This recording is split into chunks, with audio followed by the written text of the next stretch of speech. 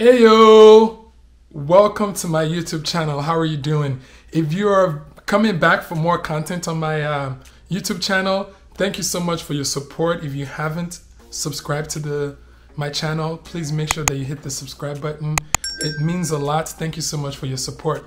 And if you're new, my name is Bayo Adio. I am a Nigerian American that currently vlogs about his travels. Right now, I'm vlogging about Lagos, Nigeria, and I am just taking everyone on the journey along with me to rediscover and re experience Lagos, Nigeria in a way that I didn't experience when I lived there for a few years when I was younger.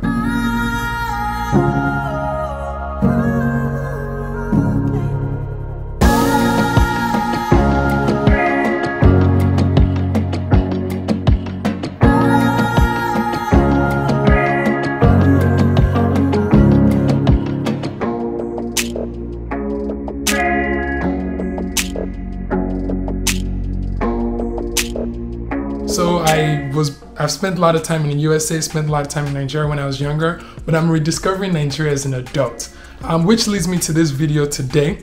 Um, one of the things that I've never actually visited or done was go into a coffee shop. So I wanted to share my experience of going to my first coffee shop in Lagos, Nigeria, in Nigeria at all. It's something that I never just kind of associated with um, being there. So I wanted to just kind of share the experience with you. And just in case you're in Lagos, you have one more thing to add to your list. Oh, and by the way, if you're interested in Lagos, Nigeria to visit, to check it out, or you just want to see what life is about in Africa, check out my Life in Lagos playlist. I have over 100 videos in it. All right, guys. So now let's get into the topic. The place that I want to feature today is called Fresh Fort. This place is on Admiralty Road. Um, and how we actually came upon this place is I went there for dinner. Um, we were looking for a place to get Wi Fi, so I was like, let's just find a restaurant, let's just go there. We went there at night. Beautiful restaurant, it's by the water, and there's like a sea view there that's close to the water. You guys, a, a view here you can kind of it's it's a very high class restaurant very expensive well but i needed somewhere to go. So we went there we ordered some platter and we just kind of enjoyed the ambience and the surrounding and it was cool. But on the way walking out we saw a coffee shop so then we decided to come the next morning. So this video is just showing you guys what the place looks like um, what the menu is what they have to offer. And if you are a coffee lover or you're into that cafe like go on your laptop kind of lounge area or you want to go on a date, this video would give you a good idea of another place you can add to your list when you visit Lagos, Nigeria. Thank you so much and enjoy the video guys.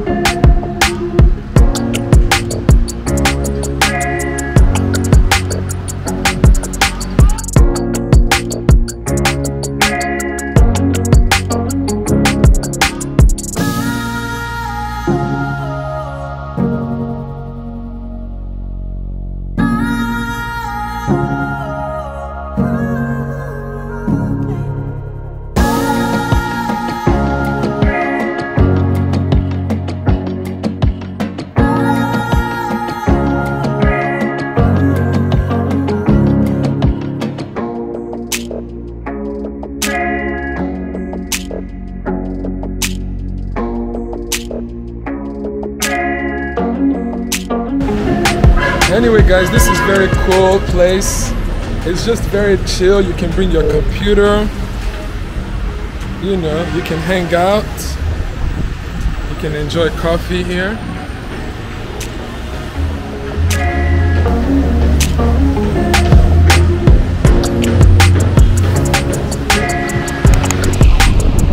So how are you doing it?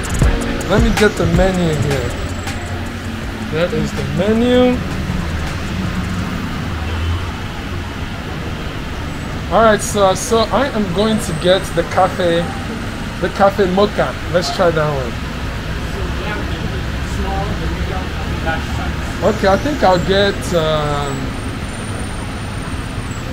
you know what? Let's go for hazelnut cat latte, and I'll get the small size. Yeah. Ooh, the chai latte sounds good. Sorry, we'll change to the chai latte. Yeah. Same size. Son? Same size. Same size, small. And then they have all types of banana bread here. There's carrot cake.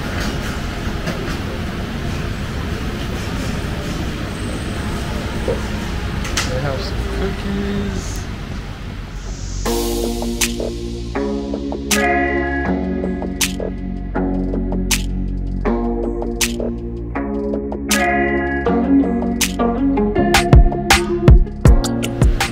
So all these prices have went up, eh? so all these prices have went up by like 500 naira.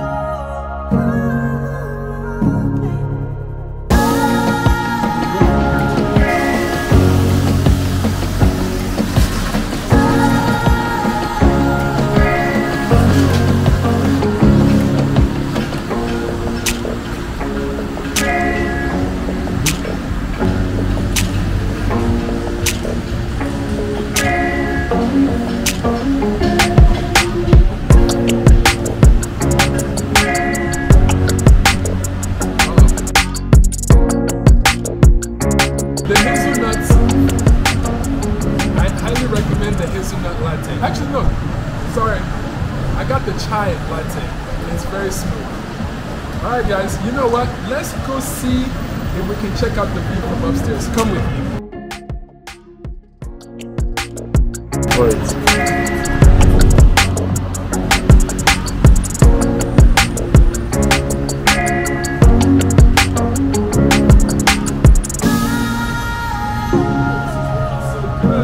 Alright guys, so when you come here, you can either stay downstairs, ooh, noisy, or you can have your coffee up.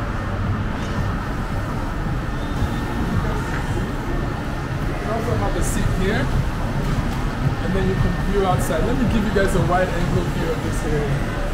Look at the ambience. There's also water right there. So let me take you guys further back.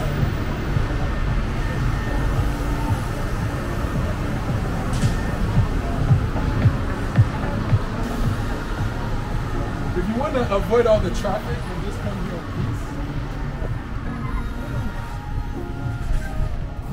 come here, have your coffee, and enjoy the, the, the ferry over there, the water. There goes the Ikoyi Link Bridge.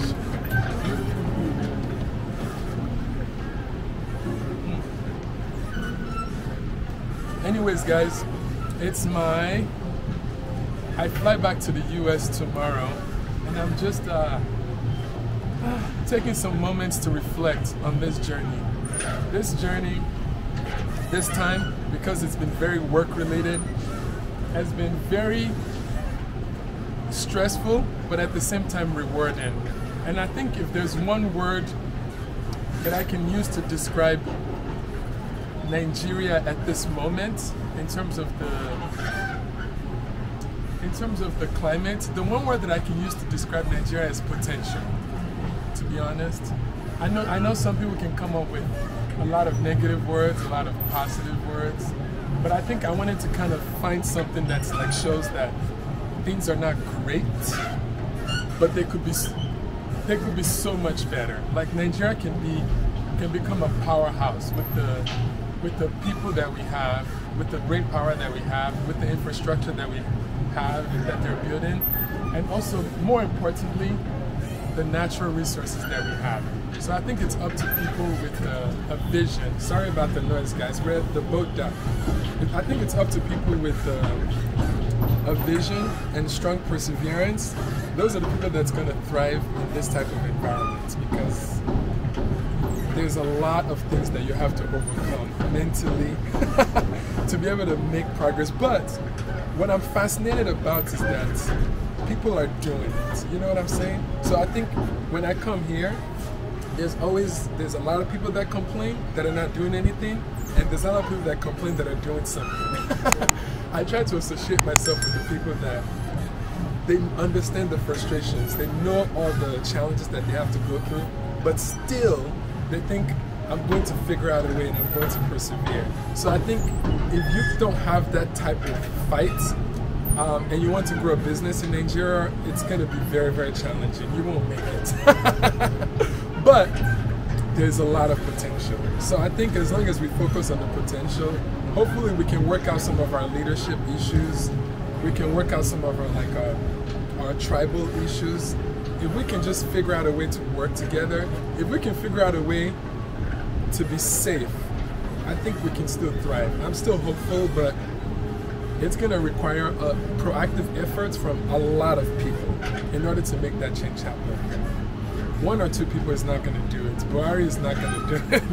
It's like when a lot of people, like a collective large amount of people get together, and as a country, is we reframe our identity, I think we can do better. So anyways, I was just kind of taking some moment to reflect and while having my coffee at this great place in Lagos, somebody had a vision that you know what, I'm going to come here and I'm going to build a very beautiful restaurant and I'm going to build a coffee house here and I'm going to have it by the river. But you have no idea what they had to overcome to go through this. But because of them, I'm here enjoying it. So I hope this inspires you to not give up, to keep pushing, regardless of what's happening. Because at the end of the day, this is our home. So if you go to somewhere else, you're never going to be truly you're just going to be spending your resources helping them out. I think it's actually okay to have a place that you live outside of your home, but I think you still also need to stay connected consistently on what you can do to contribute. Whether you're there and you're just getting an investment, or whether you're there hiring people from there, there's always many things you can do to make an impact. But anyways, guys, I have talked too much. I hope that uh, you guys enjoyed the shots today of another place in Lagos that I'm highlighting, which is I've never been to a coffee shop in Lagos, so I had to go check it out. Anyways, what do you guys think? Like this video, comment underneath this video, and lastly, please consider subscribing to my channel.